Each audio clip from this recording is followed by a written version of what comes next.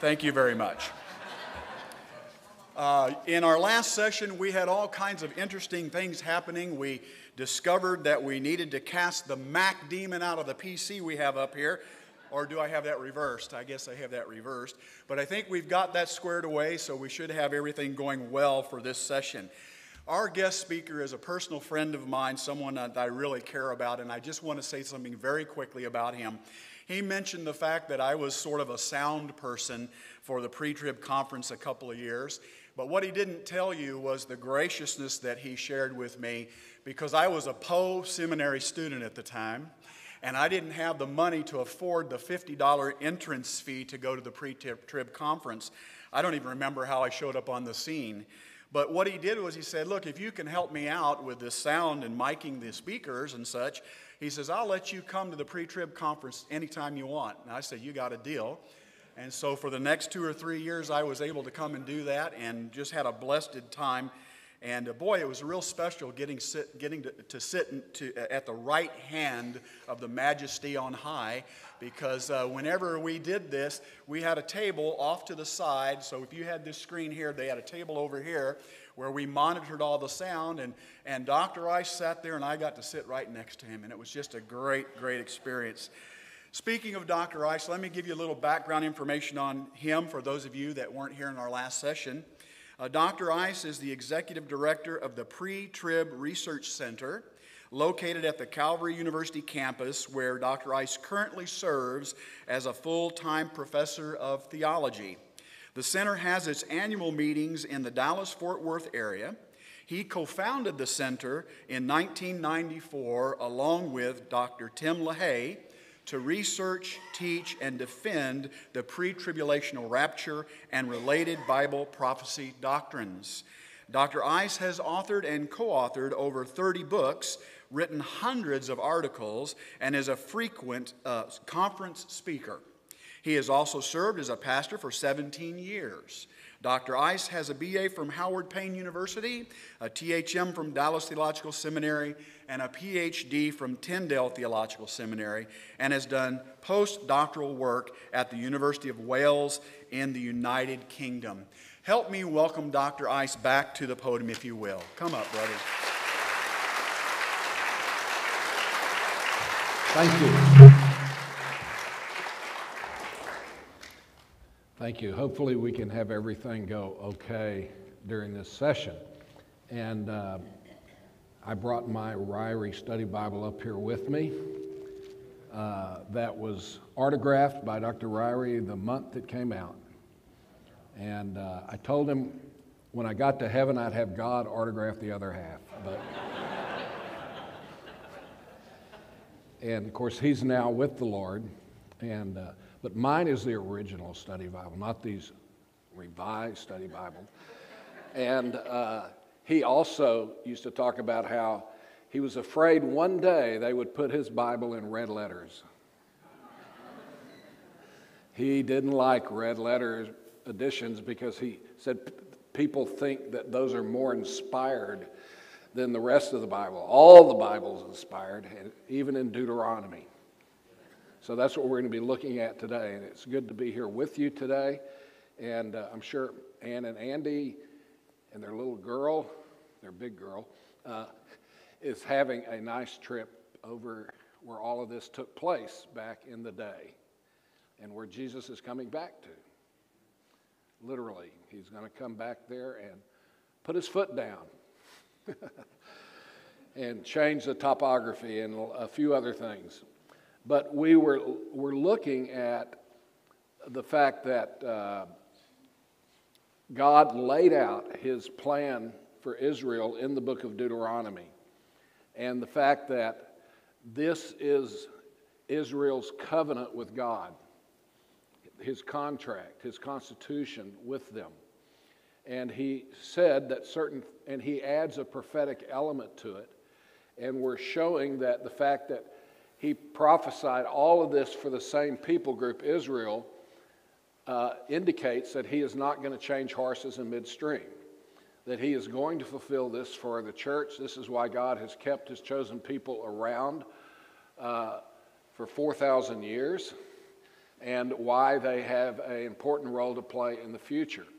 And we as Christians are uh, spreading the gospel during these last 2,000 years until Christ raptures us out of here so that he can finish the 70th week of Daniel, the seven, known as the seven year tribulation, of which Revelation chapters 4 through 19 have a detailed explanation of. And we saw earlier in the previous section that in De- uh, Deuteronomy chapter 4, the first mention of that tribulation period is provided for us there. And don't forget, Deuteronomy was given to the nation of Israel before they had ever set one little pinky into the land of Israel. And so it's a prophetic book. 28% of the book of Deuteronomy, when it was written, was prophecy. Much of that's been fulfilled, but much awaits future fulfillment. And so I was showing various passages that talk about the different phases in Israel's history. And we ended last session with Deuteronomy 28 68 about how the Lord will bring you back to Egypt in ships by the way about which I spoke to you, and you will never see it again. And there you shall offer yourselves for sale to your enemies as male and female slaves, but there will be no buyer. And we pointed out that in uh, AD 70, uh, over 100, uh, 1.1 million Jews were killed by the Romans when they uh, destroyed the temple. By the way, the first temple in 586 BC was destroyed on the 9th of Av, and the second temple uh, destroyed by the Romans on the 9th of Av, same exact day. And within the modern Jewish calendar, the 9th of Av is the saddest day of the year.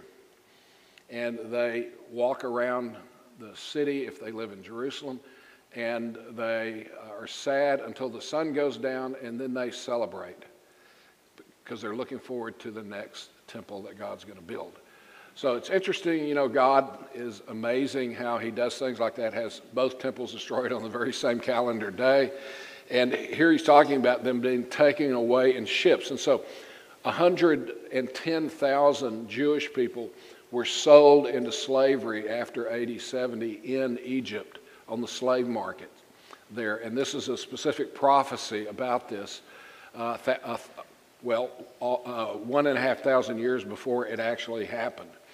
And so he, then, then we look at Deuteronomy 29 2.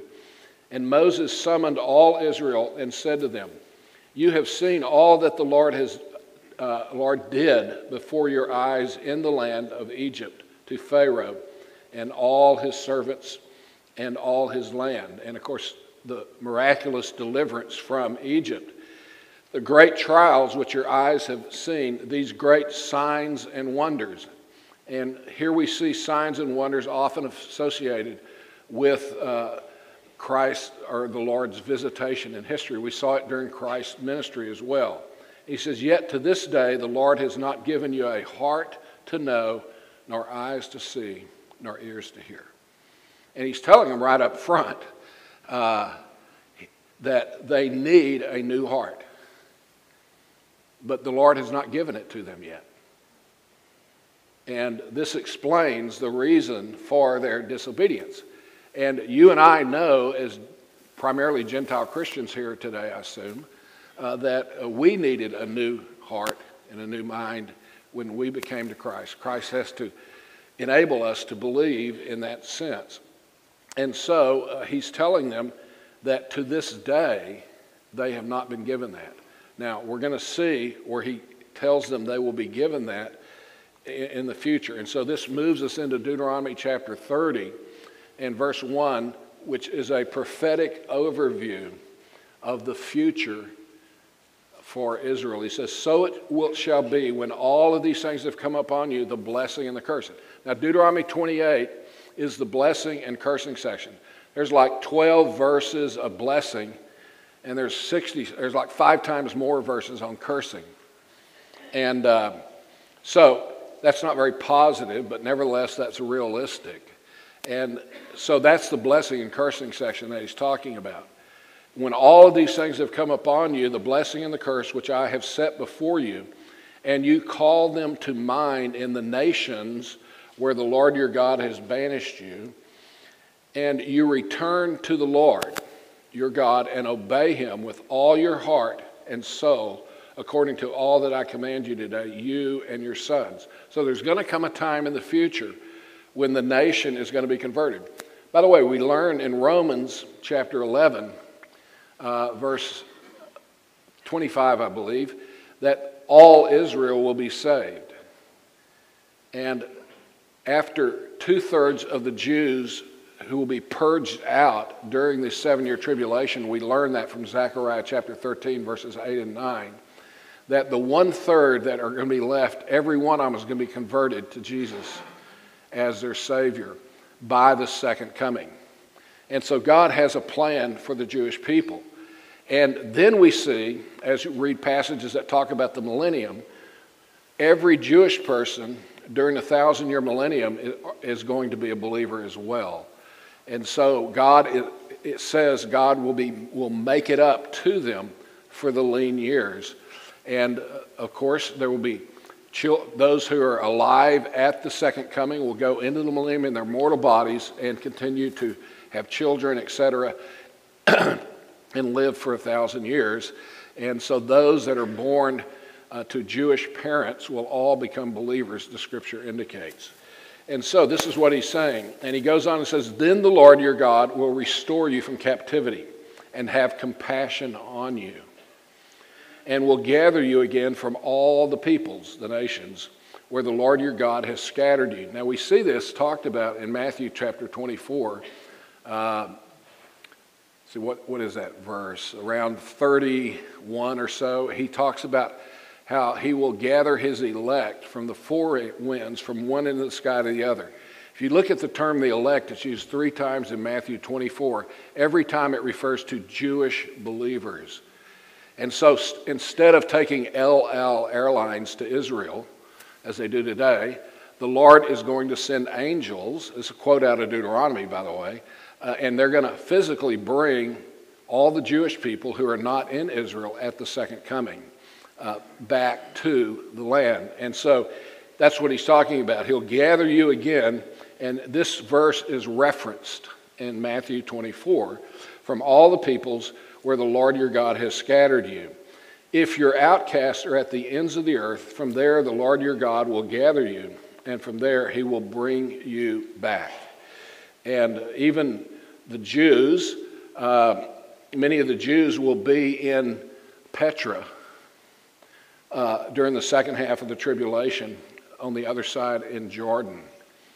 I don't, I, I don't know if Andy's going to Petra this time or not, but uh, it's an interesting place. And so we see that there are five stages of this covenantal curse that are talked about in Leviticus 26 when they were in the land. And the first stage was that they would have experience emotional distress when, if they're disobeying God. And at any point, they can repent, and uh, God will give them the promise of restoration. That, that's the condition, repentancy. So if they, and this is repeated seven times, the, the book of Judges uh, reflects this very uh, process here in the book of Judges. Uh, you see, then drought is sent to the country uh, uh, as far as their agriculture production. Seven times if they don't repent, then they go to the next phase of dread, where they're afraid of their enemies and stuff like that, seven times as well. Then the next phase of the covenantal curses is diseases will come upon them. And those are compounded. And then finally, the fifth phase is devastation and deportation, where they are kicked out of the land. But they're, see, they're not just, it wasn't just God got mad at them and kicked them out of the land. There's this phase that they went through to, uh, he gave them every chance under the sun, and therefore they're kicked out of the land. And that's what we see happening in AD 75, AD 135. They're scattered among the nations, and uh, they were brought back in 586 BC, uh, and then they're scattered around the world. And so this global dispersion is what they're in, and we're seeing a process today of a transition. Part 40 something percent of the Jews are now back in Israel, but a majority are still in the dispersion, you see. And so we're in a transition time when it comes to that issue uh, that he is in the process of regathering Jews. We see in Leviticus 26 uh, this re- restoration phase of this five stages of, of the, applying the curse to them. And verse 40 says, If they confess their iniquity and the iniquity of their forefathers in their unfaithfulness, which they committed against me, and also in their acting uh, with hostility against me, I also was acting with hostility against them to bring them into the land of their enemies. Or if their uncircumcised heart becomes humbled so that they then make amends for their iniquity, then I will remember my covenant with Jacob. And I will remember also my covenant with Isaac and my covenant with Abraham as well. And I will remember the land. So, this is the Abrahamic covenant uh, that he will further implement. So, this is the, as I told you last hour, this is the mother of all covenants. And all of these other covenants, not talking about the uh, covenant where he made after the flood to not flood them and any of that kind of stuff. But the Abrahamic covenant is the salvific covenant from which even our own salvation flows because it promises blessing to the nations, and we're included in that as well. And he goes on and says, For the land shall be abandoned by them, and shall make up for the Sabbaths while it's desolate without them. And so we saw the first uh, dispersion into uh, Babylon was because they had not kept the Sabbaths.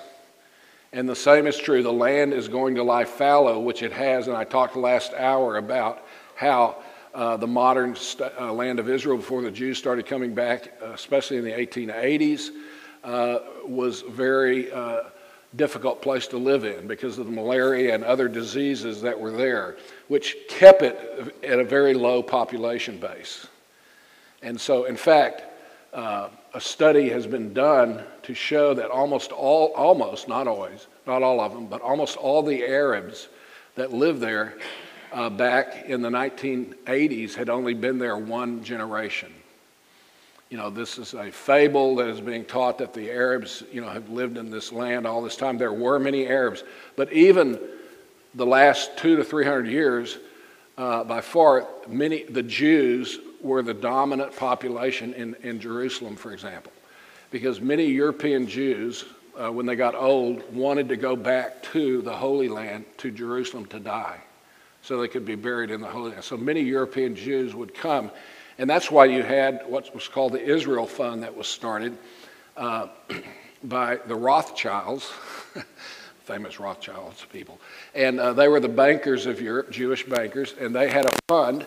And just like uh, a lot of Sunday schools here in America will take, you know, quarters and dollars and things for the children during their little offerings and collect them and send them to the missionaries, uh, the Jews at Sabbath time would send a collection for the last two to three hundred years to the Israel Fund that was the Smiths. And that's what they used to buy the land primarily. They would pay six, seven, eight times more than it was worth to the absentee Arab land landowners that tended to live in Cairo or uh, in uh, Damascus. And so uh, they bought this land starting in the 1880s through, from the, uh, through the Israel Fund and many of them started coming back to settle it. And he says, The land shall be abandoned by them and shall make up for the Sabbaths while it is made desolate without them. They, meanwhile, shall be making amends for their iniquity because they rejected my ordinances and their soul abhorred my statutes. Yet, in spite of this, when they are in the land of their enemies, I will not reject them. You see that? The church has not replaced Israel. Israel's been set aside. Jewish believers are part of the church. As we've said, that's why you have to have the pre trib rapture so that God can finish the 70th week of Daniel. I did not reject them, nor will I so abhor them as to destroy them, breaking my covenant with them, for I am the Lord their God. And he says, But I will remember for them the covenant with, with, with, their ancestors, whom I brought out of the land of Egypt in the sight of the nations, that I might be their God. I am the Lord. These are sovereign statements. He's going to do that. He's doing it in our own day in preparation for the 70th week of Daniel. And back to Deuteronomy, verse 5 says, And the Lord your God will bring you into the land, future, which your fathers possessed, after they're sent out among the nations. Then he will bring them back to the land which your fathers possessed, and you shall possess it. And I can't emphasize enough, this is before they ever went into the land. He's telling them prophetically what's going to happen. And he will prosper you and multiply you more than your fathers. Even more than under the prosperity of Solomon? Well, yes, because it'll be fulfilled specifically during the millennium. Moreover, the Lord your God will circumcise your heart.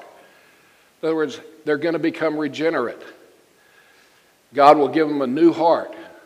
He gave us a new heart when we became a believer and a, and a new mind. But the new covenant for Israel during the is going to be even greater than what we experience today uh, during the church age.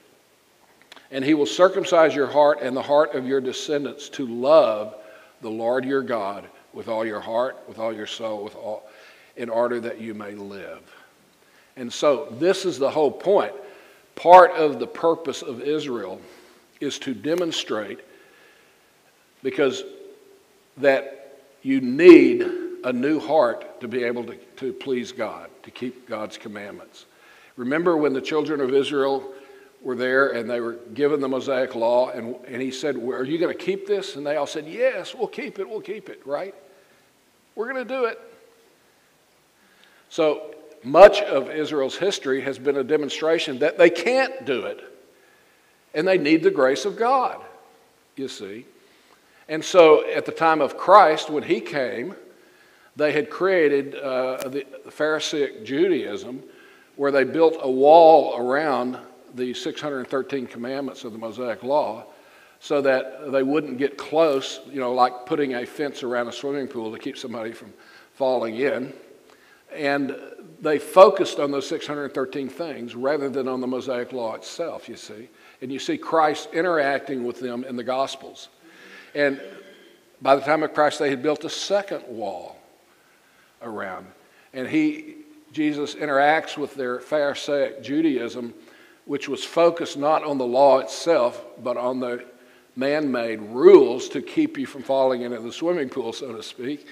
And uh, therefore, you hear him interacting with them, saying, You have heard it said, where he's quoting uh, these man made rules, but I say unto you, you see.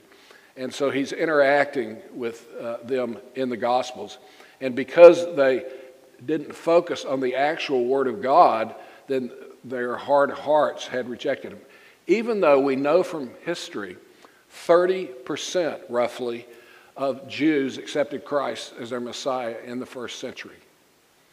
And if you remember, the early church was 100% Jewish for a good while, and then Gentiles start being added. The early church uh, was strongly Jewish in the first century. And so, even though they rejected about 30% of the early uh, the Jews in the first century accepted Christ as their Messiah. So it got off to a fairly good start, I would say, compared to uh, other times. And so he says that that when he does this, when he circumcises their heart, when he gives them a new heart, then they will uh, fall in line here. And verse 7 and 8 says, And the Lord your God will inflict on all all these curses on your enemies and on those who hate you. When will this happen? During the tribulation. See, that's the purpose of the tribulation uh, within God's word, is to inflict the curses that Israel has experienced. And if you know much about the book of Revelation, I think y'all are in chapter 8 or somewhere now with Andy. Many of these uh, things, especially when you get past the first five uh, uh, seal judgments, are similar to the curses that you find in Egypt. The uh, ten curses, or the uh, curses that God sent to the Egyptians, etc. They're not all the similar, but here you have a global implementation of these judgments by God on what are called the earth dwellers. That phrase, earth dweller, is used 11 times in the book of Revelation to describe the unbelievers in the tribulation. And it says that only earth dwellers take the mark of the beast.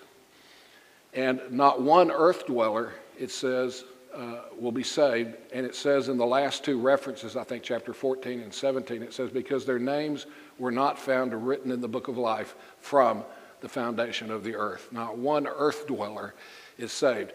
The phrase heaven dweller is used twice in the book of Revelation to refer to believers. Those whose focus is on heaven, on God's will coming down from heaven, versus those whose focus is only on the earth. And so he'll inflict all these curses on your enemies and on those who hate you, who persecuted you. And you shall again obey the Lord and observe all his commandments, which I command you today. And so Israel is going to be converted in the future and, uh, because God is going to see to it. And the tribulation period, which the church is not destined for, is going to be removed so that God is working through Israel. You have the two witnesses that are going to evangelize the Jewish people in Jerusalem. You have the 144,000 Jewish evangelists who will be evangelizing the entire world. You have the angelic evangelization of angels, as Revelation 14 talks about. Every person on planet Earth will have heard the gospel during the tribulation. The go- this gospel of the kingdom shall be preached to the entire world for a witness, and then the end shall come. That's talking about the tribulation, not the church age. Although the gospel has pretty much been preached all around the world uh, today. And then we see in verse 30, chapter 30, verse 9, it says, Then the Lord your God will prosper you abundantly in all the work of your hands. So this is the millennium. In the offspring of your body, and the offspring of your cattle, and in the produce of your ground. For the Lord will again rejoice over you for good, just as he rejoiced over your fathers. So God like the book of Job, remember how it ends? After Job is tested and goes through all this, then he receives twice the blessing at the end than he did at the than he had at the beginning. And so so it is with God's people, the Jewish people. They will receive even greater blessing at the end. And hey, us Gentiles, we'll be there. We're the bride of Christ. We'll be there. We'll have a great time and a tremendous uh, place as well through our Lord and Savior Jesus Christ. And so he's going to uh, rejoice over you for good, just as he rejoiced over your fathers. Verse 10 says, If you obey the Lord your God to keep his commandments and his statutes, which are written in this book of the law, if you turn to the Lord your God with all your heart and with all your soul. And that's the problem, they didn't. you and I cannot do it either apart from the grace of God as well. And so we see in verse 19 at the end of this section, he says, I call heaven and earth to witness against you today. And once again, he has angelic witnesses who viewed the signing of this covenant, the making of this covenant. At the end of Deuteronomy, the people say, Yes, we'll do it, we'll do it. Yeah, man, we're going to keep this, right? As we've talked about. That I have set before you life and death the blessing and the curse. So choose life in order that you may live, you and your descendants. And, you know, there have always been individuals throughout the nation of Israel, you know, that are uh, believers that keep and serve the Lord. But the nation as a whole is what he's talking about here. They're going to be converted by the end of the seven year tribulation. I probably know at least three or four dozen Jewish believers myself today. I'm sure some of y'all know Jewish believers as well. So, as I say, they're part of the church. And so this is suspended for them because the nation is temporarily set aside while he deals with the church. And then he's going to uh, deal with them during the tribulation. Verse 20 says, By loving the Lord your God, by obeying his voice, and by holding fast to him. For this is your life and the length of your days, that you may live in the land which the Lord swore to your fathers, to Abraham, Isaac, Jacob, to give them. And so we've pointed out the land was given to Israel in an unconditional covenant. But the Mosaic law, as we're seeing here, is the conditions for them enjoying the land and being in the land and prospering. And this is what they have failed to do. And so history demonstrates that no matter who we are, Jew or Gentile, we all need the grace of God, don't we?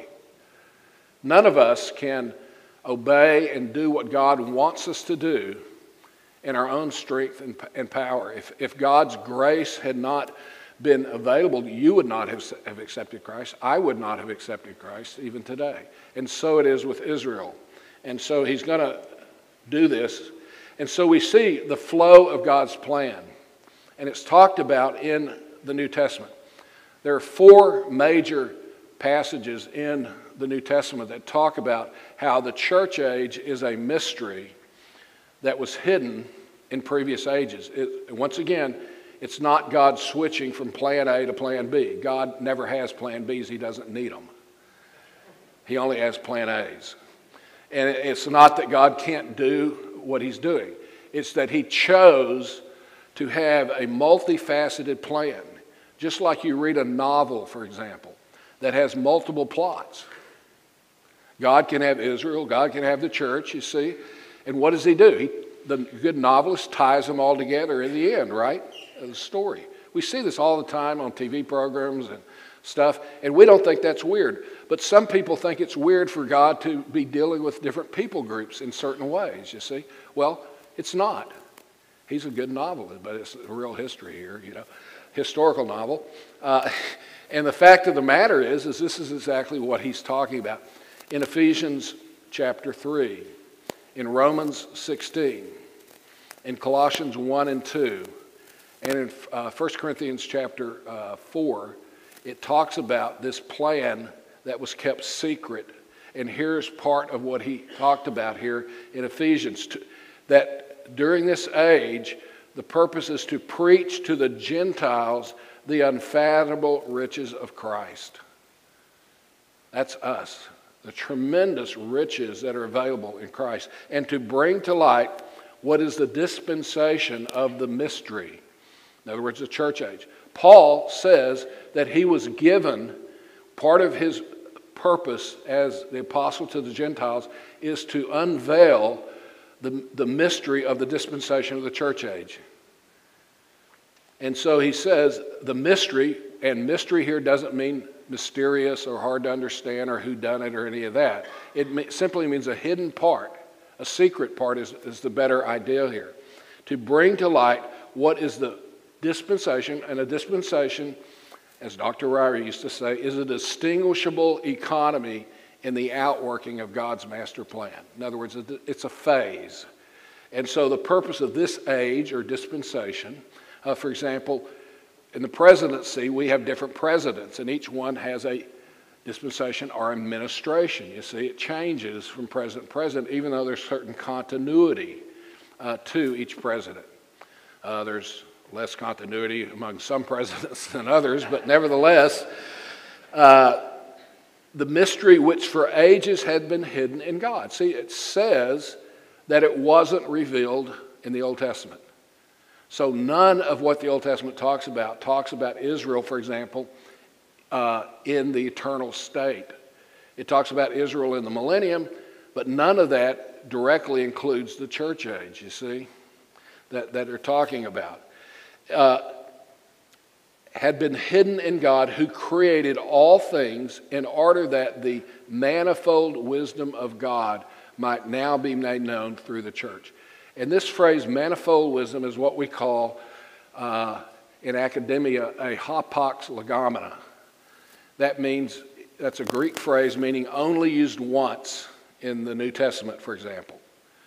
And it's a, so it's a unique phrase. And many manifold wisdom of God is the idea of a single plan that has different sides or dimensions to it, you see.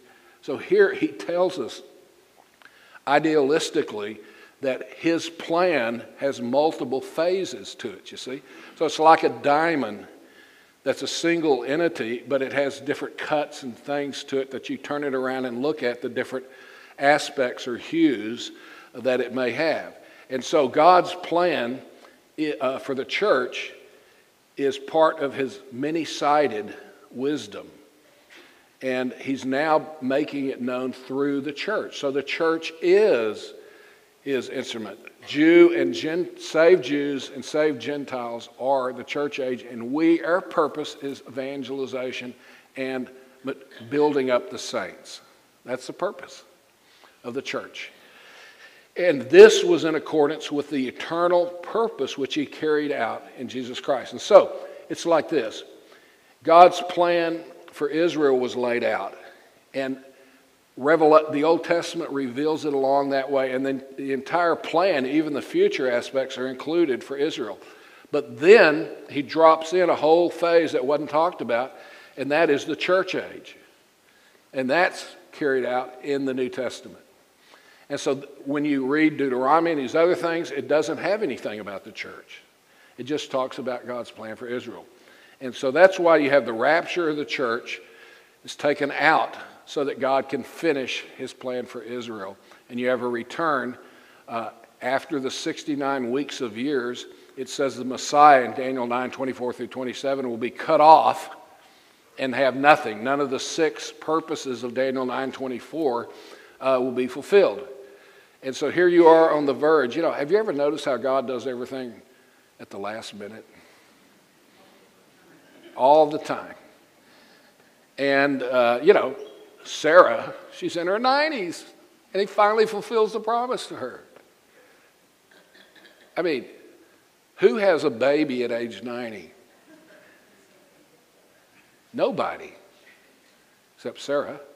And you see the same thing. Uh, women that aren't able to have children, and God, they pray to God, and He gives them a special child who's part of His plan at the last minute.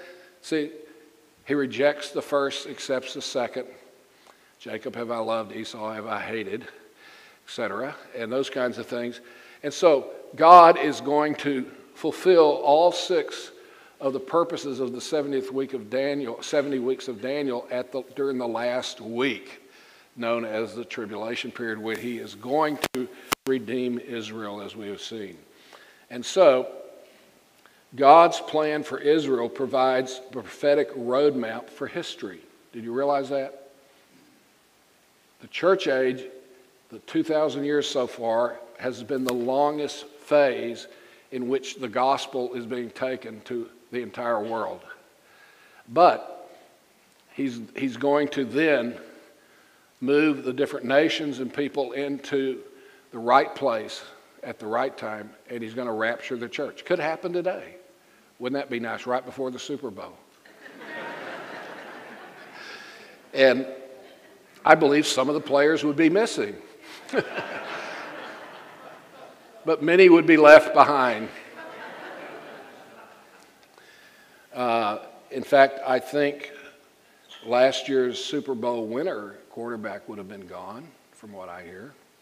Uh, but I'm pretty sure Tom Brady would be left behind. But nevertheless, we, I, uh, I shouldn't speak that way. I don't know anything about their personal lives, but, but nevertheless, God is going to interrupt this suddenly and unexpectedly. And everybody's going to freak out, right? Space Brothers came and took them, you know, or something like that, you know. Uh, so we see that Israel has two end time regatherings that are spoken of in the Bible. And the first end time regathering is before the tribulation and unbelief. Uh, this is end time regatherings from the nations. So their return from the 586 BC was not from the nations. It was only 50,000 that returned from a nation, Babylon. But it talks about two end time regatherings from around the nations. So I believe we're seeing in process, it's not fulfilled yet, before the tribulation in preparation for uh, the events of the tribulation, Israel is being returned from the nations. What is it? Something like 148 nations that the Jew, modern Jews have come back from today. um, Arnold Fruchtenbaum tells a joke about how there are Jews on every continent. And they said, well, what about Antarctica? And you know, they say, well, haven't you heard of the icebergs? Or something. you know, or something like that. Uh, but they're returning from all over the world, and they have become a great high tech center and all of this kind of stuff. You, after all, you have all these Jewish people there who are pretty smart folks as a whole, and how they even dominate when they're given an opportunity the Gentile world uh, in, in a lot of areas. And so this is going on. They've been there 70 years, and he's, he's preparing them, he's preparing the nations. And so, what are we seeing? We're seeing a world increase, increasingly that hates Israel. And uh, we're seeing in our own country how uh, Israel hatred is part of a particular party that used to love Israel. And we're seeing a total shift in the United States. And if you want to bring the judgment of God down on you as a Gentile, then become anti Semitic, and that will happen, uh, both individually and corporately as a nation. And so, God, uh, we're seeing that. So, when the rapture occurs in this country, we're already set up ideologically uh, for this global government. You know, and everybody talks about how the only solution to the world's problems is global government today, right?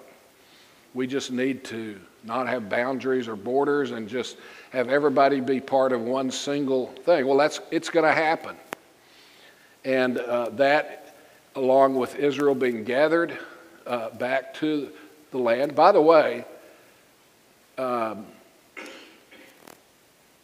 when Israel became a nation back in 1948, it was estimated that there were like six Jewish Christians in the land. Six. Not many. Today, they estimate about 35,000 Jewish believers in Israel that love the Lord. And increasingly, there are Arabs that are coming to know Christ as their Savior as well. So you have the events of the seven year tribulation, which is supposed to prepare the, na- the world and the nation for the second coming. And then you have him returning. And the second coming is a rescue event. That's the purpose or the logic of the second coming. It's to rescue Israel. Because as the Olivet Discourse says, if Christ had let, let this go on, then no flesh, talking about Israel here, would be saved. In other words, they would be wiped out. So he's going to come at, after seven years of the tribulation to rescue Israel and uh, redeem his people. And as I've said, two thirds of the Jews will have been wiped out during this period. But I've been criticized by people who disagree with our view, saying, oh, Tommy Ice says that uh, two, thir- two thirds of Jews are going to be killed. So, you know, if the Jews go back to Israel, then, uh, you know, two thirds of you, two out of three, you're going to be killed. Well, all unbelievers at the second coming are going to be killed. So, how come they don't talk about that? Uh, no, at the second coming, Christ purges out all unbelievers out of the planet. So the only solution is become a believer, right? Uh, after the rapture, but if you're a believer before the rapture, you'll be taken up at the rapture. So that's the point. And this is basically God's plan. Then when he returns, he sets up, well, he has a 75 day interval to clean up the mess. How long would it take the EPA? First, they would have to argue about it. Then they would have to pass a bill. And then it would take a long time and, and all of our tax money to clean up the. Uh, and I like to call the tribulation the day God trashes the planet. Makes, makes the environmentalists really mad. But nevertheless, he's going to clean it up. It's his planet. And it's going to be millennial conditions after the 75 day interval for a thousand years. Uh, we, as the bride, are married during the tribulation period, we experience the Bema judgment where Christ is going to evaluate how faithful we have been during this time. And the marriage takes place, according to Revelation 19, right before the second coming. And then the marriage supper of the Lamb takes place in, at the beginning of the millennium, where the guests, from, the redeemed from all history, will come together to celebrate the marriage of the Lamb during the beginning of the millennium. Isn't that going to be great? See, it's not going to be just hanging out in clouds with a harp. It's going to be just as physical as it is today uh, for all eternity. We're going to have a new body, et cetera, and all of that. And we're even going to have parties. Isn't that great? Uh, in the future. And so after the thousand years, then Satan is released and he leads a rebellion of, of the secret unbelievers. So it's the opposite of today. Christians are often secret service Christians, but the unbelievers will be the secret service folks, and Satan will somehow uh, get them out and they will attack the city of Jerusalem, and God will wipe them out. Instead of taking seven years, he's going to just bolt of lightning is going to blow them away. And then we go into the eternal state for all eternity. Transitioned into it by the Great White Throne Judgment, where every unbeliever uh, gets an opportunity to present their case, and it says they're not going to have the dream team to support them here at the judgment. It's just going to be them, and everybody's going to. Uh, says not have a word to say. They'll know they're guilty and they will spend eternity in the lake of fire. And that's absolutely true. Uh, the lake of fire is what we popularly know as hell. And so we will spend eternity, the redeemed, with, first of all, the thousand year millennium and then the eternal state, where the new heavens and new earth are, are brought down. The current heavens and earth are going to be destroyed because sin taints this current universe. And then we will be uh, redeemed and have a totally new heaven and new earth. So that is God's plan for history. And with that, I'm out of here. So. and I just want to make sure that if you don't know Christ as your Savior today, that you need to make sure that you have trusted in Him to pay for your sins. And that's why Christ came to planet Earth to die on the cross for our sins. And you can trust Christ today if you haven't ever done that in order to receive the forgiveness. And those of us that are believers, uh, before we're out of here, we're to serve Him sacrificially till He takes us to be with Him. Let's pray. Father, we thank you so much for the grace of God and for, the, for your amazing plan for history and how you prophesied it before it ever happened and how you're still working with your people Israel. And we thank you so much that you include us as Gentile believers during the church age, and that you've given us a tremendous status as your bride. And we pray that we would be faithful as we serve you in the days ahead, as we are most that we only have a few years here on planet Earth, but eternity to spend with you. And we just thank you for the tremendous blessings, and we pray in Christ's name.